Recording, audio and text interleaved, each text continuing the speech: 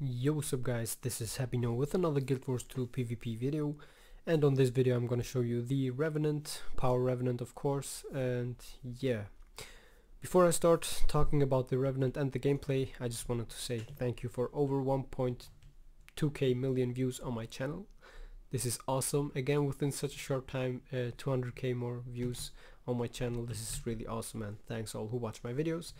And also I wanted to say thank you for over 3.6k subscribers on my channel. This is really awesome. And yeah feel free to subscribe to my channel. I never say that but just you can do that because you are so great all who subscribe to my channel. I love this community. And yeah there are a lot of new news. And basically I just thought I check out my latest videos and I just saw that I haven't played Revenant for a while now and I just go ahead and show you the Revenant and I know most people just watch the Revenant with double sword currently, but I still recommend to use shield due to the survivability factor. And yeah. On this video I will show you not the normal one that I will play with the Berserker amulet, but with the Marauders one, just because the people who want to try it out should start with Marauders amulet, because Berserker requires a lot more skill. Because you lose like, uh, how much HP you lose? You will have 16k HP you lose a lot of HP and you are really squishy if you have so only 16k HP and yeah a lot of news. I even heard that an, uh, some other pro gamers got also banned from PvP seasons which is like a really fun because yeah it's like those pro players who have the PvP titles getting banned because they do shit and I know they watch my videos so it is always fun to laugh about you guys. And yeah what else can I say? I have a 700 DK and yeah I guess I'm somewhere between nothing and nothing. I haven't played now in a while. And to be honest I also haven't played that much Revenant as you all know. And uh, I, I did more Sporting Dagger only just to see if I can hold a high rating with core core uh, gameplay which I did. And I'm also on my second account. I'm about to go ahead and rank up my second account without expansions onto at least platinum 3 I guess because that's what I want at least. I don't know if I make it into top 10 with my second account because he's like really low currently and he it had also um, 700 DK I just got with my second account I don't know from the 15 games I won 12 or something like that. And I was placed uh, platinum 1 I guess. I, I, yeah I was placed something platinum 1 or even gold I'm not so sure.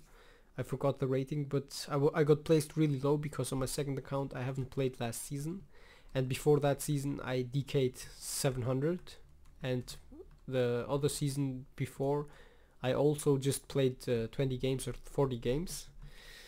And yeah this DK just kills me.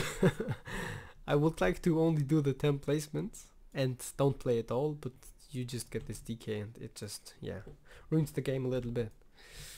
Uh, this queue just seems to take like freaking for forever.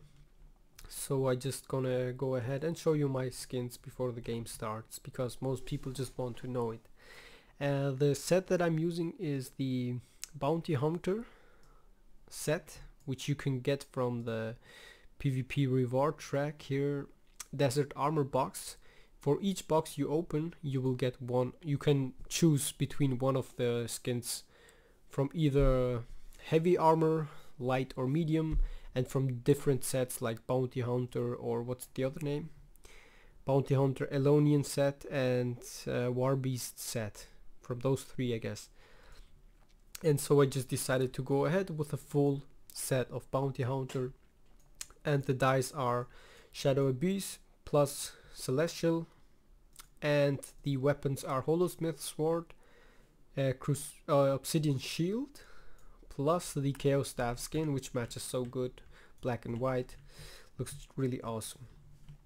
And now for the Revenant uh, the Revenant got no buffs or no nerfs the DPS one. So what only has changed is from Devastation from the February update or patch, I'm not so sure if it's really true but somewhere between that time. Uh, the change is Brutality, this is the new trait or better said now old trait because it is not that new. And the Brutality trait is really cool if you know how to use it properly and I guess it is a good potential uh, good skill to just cleave enemies, which you can do really good. Of course, on the current meta, it's a little bit hard. And yeah, what is the Revenant? Of course, for those people who don't know it, the Revenant is the profession who just um, is some kind of a roamer with high survivability against normal DPS, but lacks on condition cleanse. So it is somewhere between a thief and a warrior, but only with a lack of uh, skills to remove uh, conditions.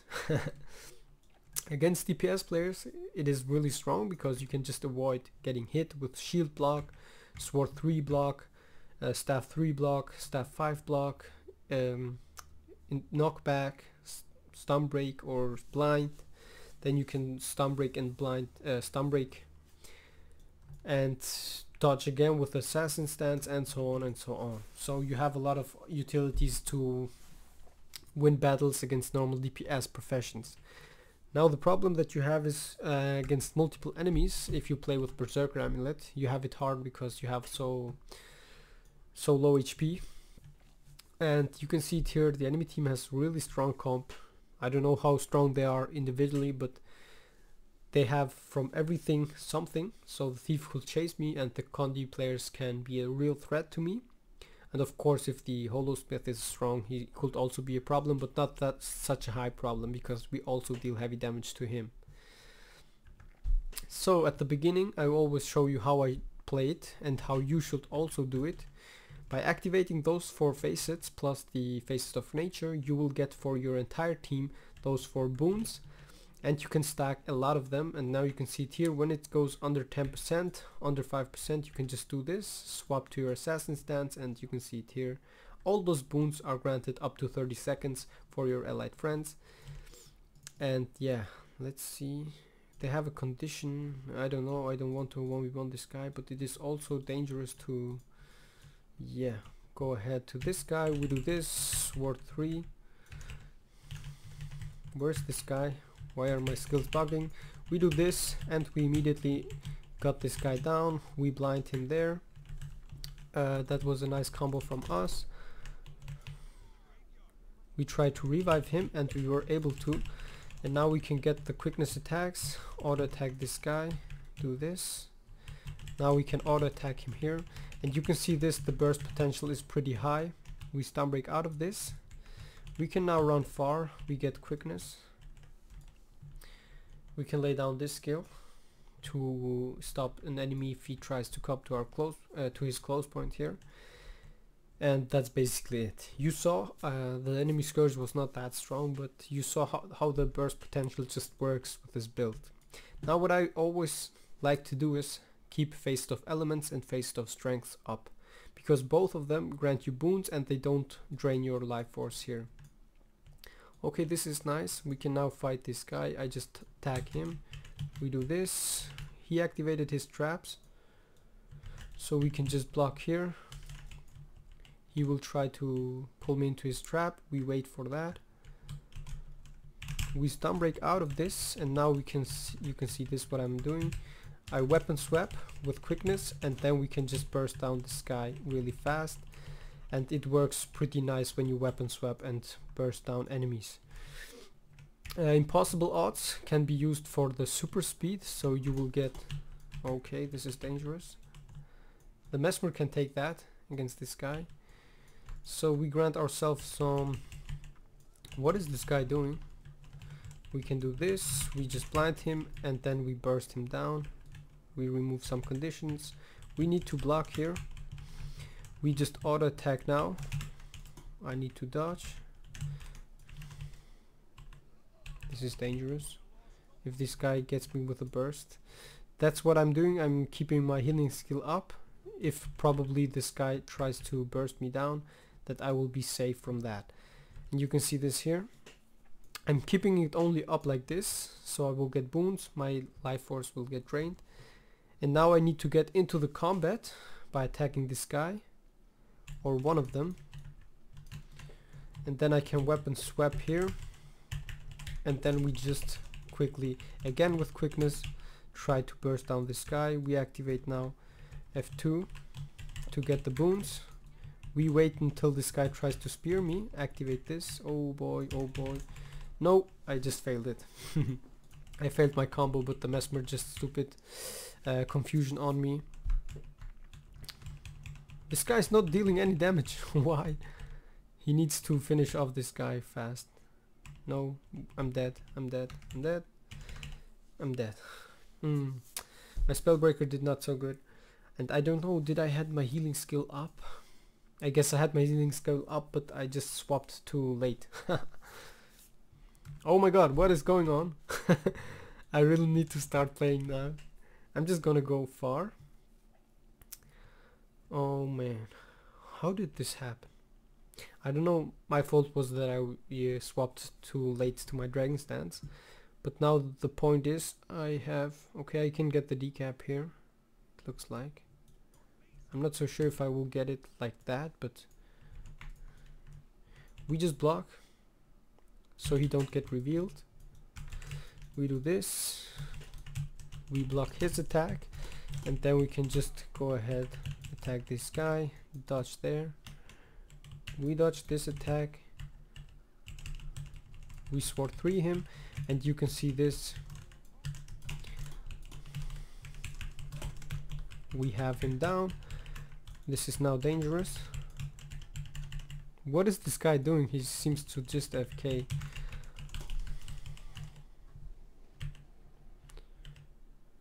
we can remove two conditions. Now we just block try to plant this guy use the healing skill. Blind him there auto attack sword 3 him and this guy's just bad. This guy's just bad. We block. And he's done. Okay I, uh, I don't know this guy maybe just don't want to play or something like that or he's just first time playing Scourge because what he's doing is like just FKing or something like that. Come on, do I have a target? You see it is important to always tag a player because what this guy is already here. Okay, the mesmer is also here. We blind the mesmer. I need to be careful now. We use the healing skill.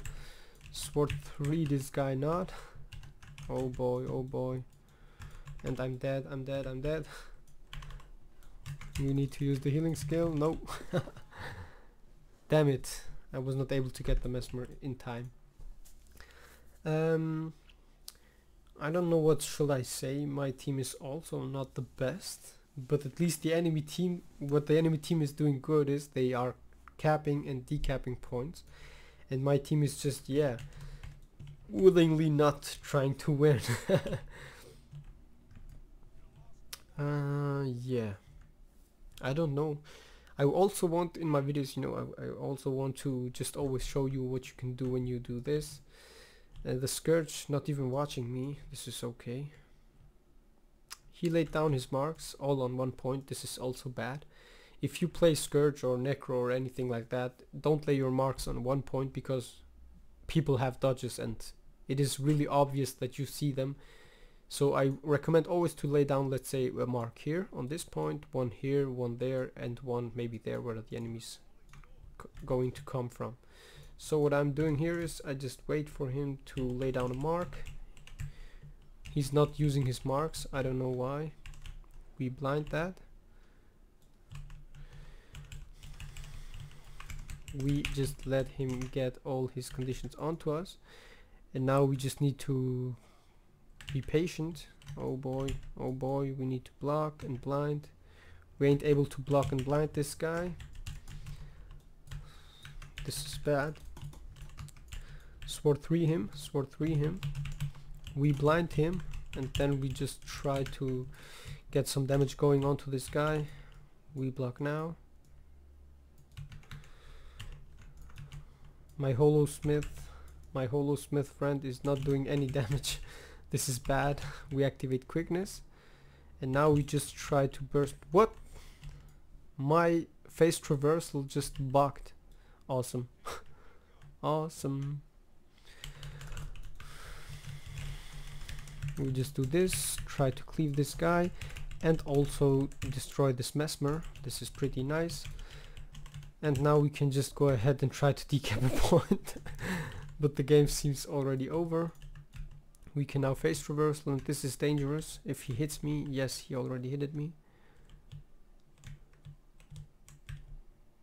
We just wait. He attacks me. And we can now just activate the healing skill and just wait for him okay he used his shield.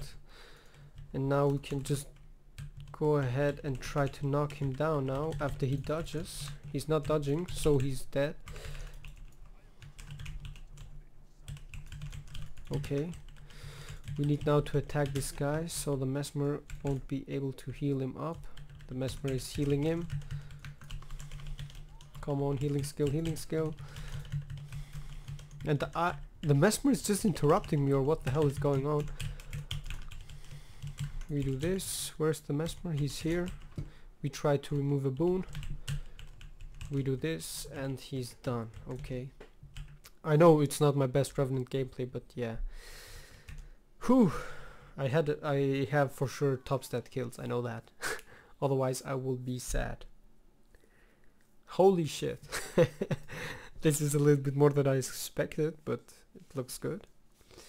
Uh, this guy just got revives. I got also revives. Defense. He got defense also. This is nice. Hmm. Um, yeah. I guess both teams were not the best. I don't have to complain that much. Um, the gameplay was, I guess, okay.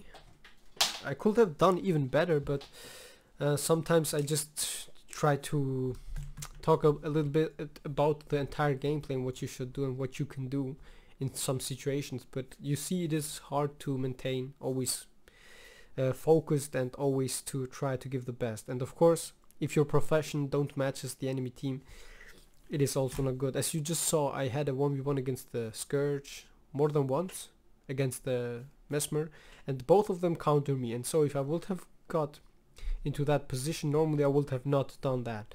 If the enemy Scourge would have been strong I would have not 1v1 him because it makes no sense. He just would kill me without a problem. Uh, but the enemies were not that strong. So let's talk about the skills now and what you can do. First the build of course, as always. Sigil of Vulnerability and Sigil of Exploitation just to maintain the high damage output. You can also go with Sigil of, um, what's the one with the Might? Battle? No, Courage, yes. To get more Might stacks, but you don't really need that. Of course, if you get your the Might stacks every 2 seconds, you also get them for your allied friends, which is also pretty nice, but you don't really necessarily need that. Sigil of Exploitation with Sigil of Vulnerability works pretty nice because on your build you will stack Vulnerability, plus with that you stack even more and your auto attack of course stacks also Vulnerability which is pretty nice and you can stack at least 10 stacks of Vulnerability within a short time which means you and your allied friends will have a 10% additional damage bonus onto the target with the Vulnerability which is pretty nice. So you can you can guess it like this. You will always have at least the 10 stacks of vulnerability plus the 5% damage bonus for enemies under 50% HP, which makes it pretty strong uh, additional 50% higher damage output onto that target.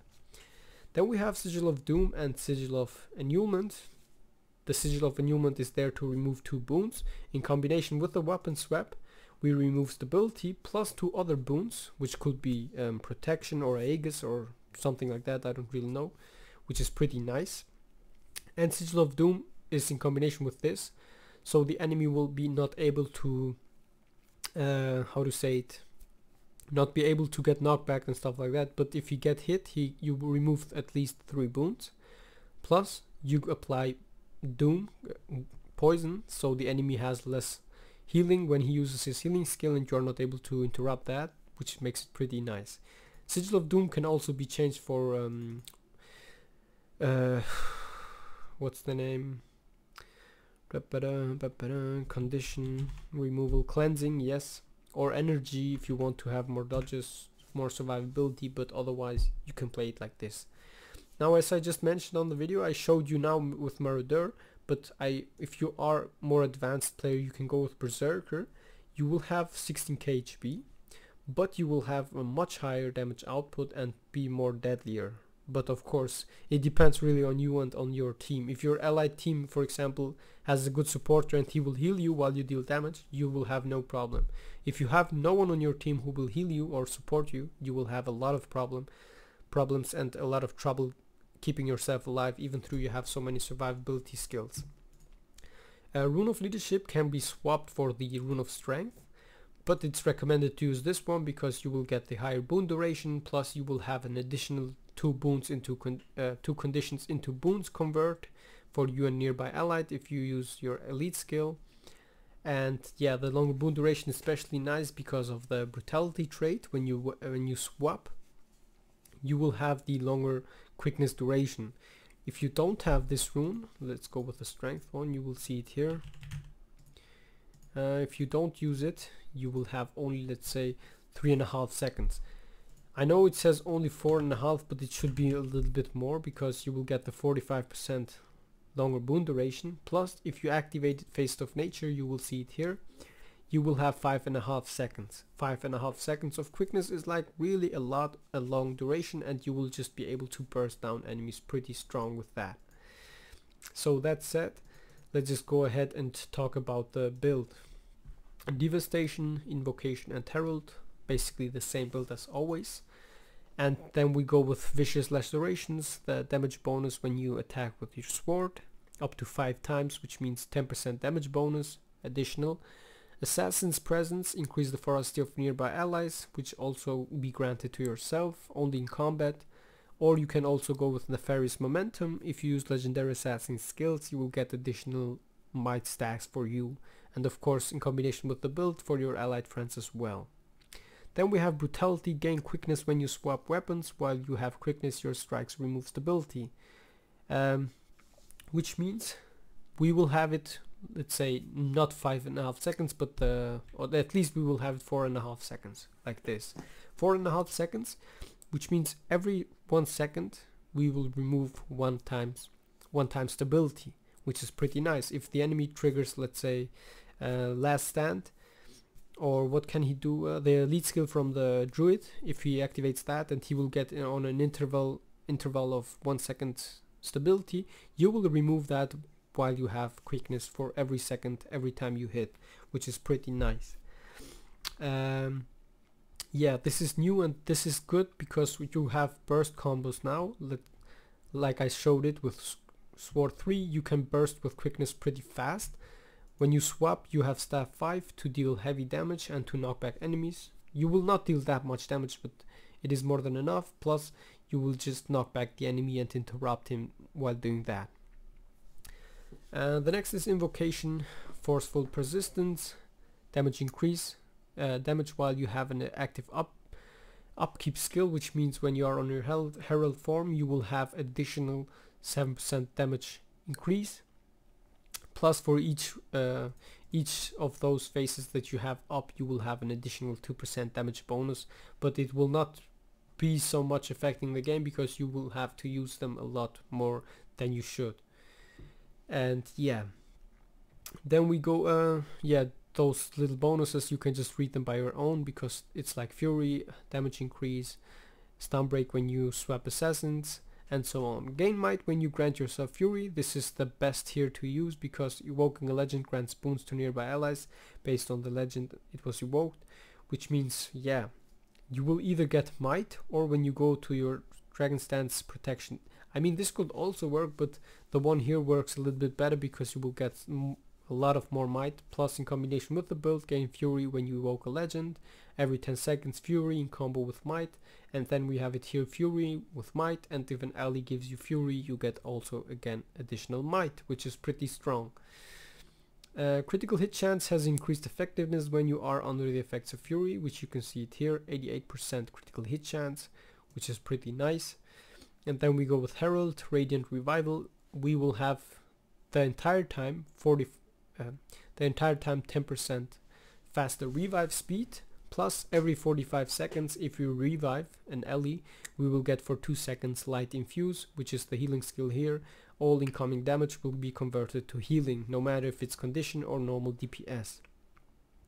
Um, gaining increased endurance regeneration, this is also something which you should know when you have an up upkeep skill, which is always what I mention, to always have those two up. And then uh, vigorous persistence, I just talked about that. Shared empowerment, every second you will share your, uh, when you apply boon to an ally, also apply might to nearby allies which is pretty nice. It works also on yourself, which means every time you have one of those up, you will apply boon to allied friends plus might one more time. Gain increased concentration. This is just nice to have it in combination with the leadership rune. And then we have it here increased damage per boon on you, which is 10%, uh, 2%. And mostly you will have this 2, 4, 6, 6, 8 or even 10% damage bonus, which is pretty nice. The others work I will say not that good because the, the cooldowns of the skills is just too long and this one here worked pretty well with the old build enhanced bulwark with the perma stability but you don't really need that anymore um, so to the combos that you can use where do I show that on the golem we can see it here the golem is uh, not available hmm a lot of people out there here, this golem is not used. We just fly to this guy. If I can make it, yes.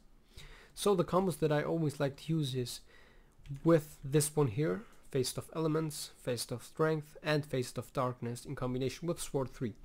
Now the combo that is, the first thing that you should do is target the enemy. Start like this, maybe dodge an attack, Sword 3, face it off Strength, then blind the enemy and sword 3 and then you can swap here swap. You can see this the combo works pretty nice. And then just auto attack block dodge use the healing skill dodge one more time auto attack here. Then you can go with impossible odds here. Sword 3 swap and repeat that. You can see this the 25 stacks of uh, vulnerability are on the enemy and you will just deal heavy damage. Do this blind the enemy swap stun break use the stun and then just repeat repeat repeat. And this is basically the main combo that you should use. And here to show it to you here one more time on the beast I just need to wait a second. So Chieftain Utahein you can also start with Facet of Nature up and immediately activate Facet of Elements plus Facet of Darkness for the quickness. So you can start the game like this those two and then you can go ahead and do this activate F2 try to dodge that attack sword 3 this guy blind him and then just go ahead swap weapons and stance and just yeah you see this. Within a 3-4 seconds or even 5 seconds this guy is dead. You have the quickness you have the damage output and you can do beasts pretty fast. Revenant is one of the professions that can be used to kill the beast if your team is uh, a little bit back with the points and you just get respawned and you know near enemies are not so near you. So if until the enemy sees oh the you are doing the beast, you are already done with the beast. This is the strong thing about him. Now what you can take on 1v1s, you can take 1v1s against warriors. Of course you have to know when to use what and to avoid let's say against spellbreakers the block, but that's not that not that hard to avoid that. Uh, you can take warriors, as you saw guardians. Even through against guardians, you have to be careful. Try to avoid the spear. If you avoid the spear, you will have an easy game. If you can't avoid the spear, you will have a hard time. And of course, keep your stun breaks like this, Facet of Darkness, swapping stances. Uh, if the if, if the guardian hits you with longbow 3 after the longbow 3 and spear is gone you will have an easy game you can just burst enemies you can use your shield to um, block the traps as I did or you can just use the shield to block sword 3 or uh, longbow 2 the heavy hitting attacks On staff you can also just use Warding Rift to avoid hit getting caught by yeah multiple enemies if they attack you or Surge of the Mist not only for the damage combo but also to just survive and run away from the point and stuff like that. Uh, what else is to say? The two Condi cleanses that you have is Renewing Wave which you can also use near your allied friends because it's a combo finisher blast. If you have an area water field you will have area healing. Plus you will also remove two conditions from your allied friends and heal them up a little bit which is pretty nice and a lot of people don't know that. Um, the elite skill can also just be uh, you can keep it here activated but you you don't have to activate it. You just keep the passive up which will grant you protection and nearby allied friends as well which is pretty nice. And then you can just activate it and interrupt it by interrupting it you will not really activate it but just you can uh, how to say it? Uh, I don't know the word for that. Fake the attack so the enemy dodges it but you are not using it so you will have it up again. You can reuse it after he dodged. Uh, this is nice when an enemy is using a healing skill and he interrupts his healing skill by with a dodge. While you use that you fake it. And then you can reuse it and he will be just uh, yeah back the elite skill is also pretty nice Jade Winds from the assassin stance. I recommend to use it if you have a downed enemy and the enemies are trying to revive. So if they don't have stability they will all get stunned for 3 seconds which is like hey hello you have now 3 second stuns and I can burst you down. You will not be able to do anything. Uh, it stops reviving and it is really powerful. Especially good against druids, but you have of course to remove their stability first by weapon swapping, gaining quickness and remove stability and then using Jade Winds. And then if you have them on stun, you can just activate impossible odds, auto attack and deal heavy damage. Uh, what else can I say? Phase Traversal should normally work with the uh, with the port to the enemy but it just bugged on the video I don't know why Riposting Shadows. Is a really nice skill to just avoid getting hit and yeah get out of combat as you can see it here. You lay down a you have a huge distance to travel when you use this skill. Plus you will remove uh, immobilize chill and cripple. Plus you gain endurance back and it's a stun break and you dodge attacks which is pretty nice. Uh, remove movement impairing conditions and gain fury. This is also nice to know because I guess this is new. It was not like this. You gain fury in combination with a build additional might.